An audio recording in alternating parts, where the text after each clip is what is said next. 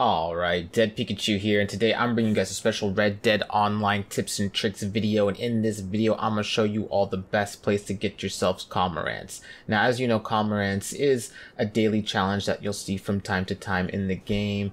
So as you look right here on the daily challenge, we got Cormorants that you need to pluck. Now, the problem is that you'll find yourself having difficulty finding these birds, especially in a full session with a lot of players. So as you see right here, we got 23 players in this session and I'm going to show you a location where even in a full session you can still find these birds as well as loons. So you can find both cormorants and loons in this specific spot right here over in Annesburg by the shore. So let me show you on the map. Press and hold options on the controller there to bring up the map. Here we are in Annesburg.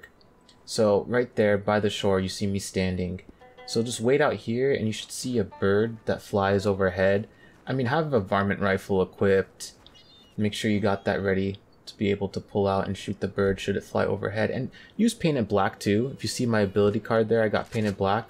And I'm gonna stand here and wait for a bird to fly overhead. There's one right there. Now, I don't know whether that was a loon or a cormorant, but I'm just gonna shoot it, check it out. This one was a loon. Maybe a cormorant will fly overhead.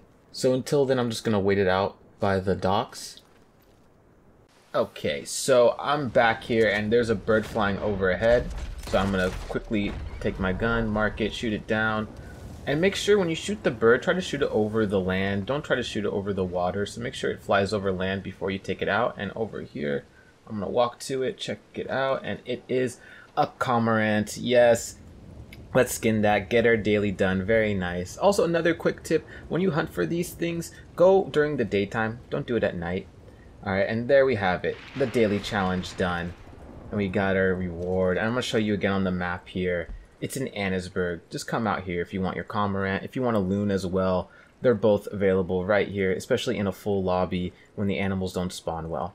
Okay, that's it for this one. First and foremost, thank you so very much for watching. And if this helped you out in any way, please leave a like and comment down below. Let me know anything else you want to know about this game. And if you haven't subscribed to my channel, please do so. Say I choose you, Dead Pikachu, and join the Dead Pikachu crew today. Yeah.